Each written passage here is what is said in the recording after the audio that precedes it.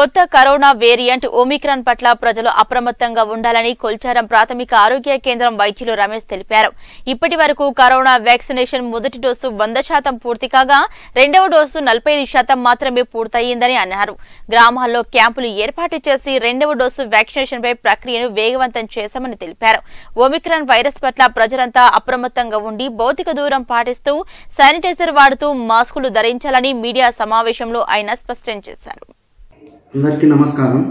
ఇప్పటి వరకు మన పిఎస్సి పరిధిలో దాదాపుగా వంద percent first dose covid vaccination వంద పర్సెంట్ పూర్తి అయింది. ఇది అందరి సహకారంతో పూర్తి చేయడం జరిగింది. ఇంకోటి సెకండ్ డోస్ ఇప్పటి వరకు దాదాపుగా నలభై ఐదు శాతం పూర్తి చేయడం జరుగుతుంది జరిగింది. ఇంకా ఈ సెకండ్ డోస్ తీసుకొని వాళ్ళందరూ కూడా సకాలంలో అందరూ తీసుకోవాలని విజ్ఞప్తి చేస్తున్నాము. ఈ సెకండ్ డోస్ వాళ్ళ కోసం విలేజ్లలో కూడా క్యాంపు మేము కండక్ట్ చేస్తున్నాము. ఇంకా ఇప్పుడు కొత్త ఒక ఒమిక్రాన్ వేరియంట్ అనేది కోవిడ్ కోవిడ్ వ్యా- వైరస్ వేరియంట్ వస్తుంది.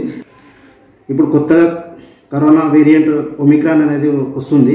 దాని దాని పట్ల ప్రజలందరూ అప్రమత్తంగా ఉండాలని ఈ కోవిడ్ నిబంధనలు పాటించాలని లైక్ మన రెగ్యులర్గా మాస్కులు ధరించడం ఫ్రీక్వెంట్ హ్యాండ్ వాష్ చేయడం ఫిజికల్ డిస్టెన్స్ మెయింటైన్ చేయడం ఈ క్రౌడ్కు దూరంగా ఉండడం మరి ఈ ఫంక్షన్లు అట్లాంటివి ఎక్కువ అటెండ్ కాకుండా ఉండడం ఈ క్రౌడ్కు దూరంగా ఉండడం మనం పాటిస్తే ఈ కోవిడ్ బారిన పడకుండా మనం కాపాడుకోగలం.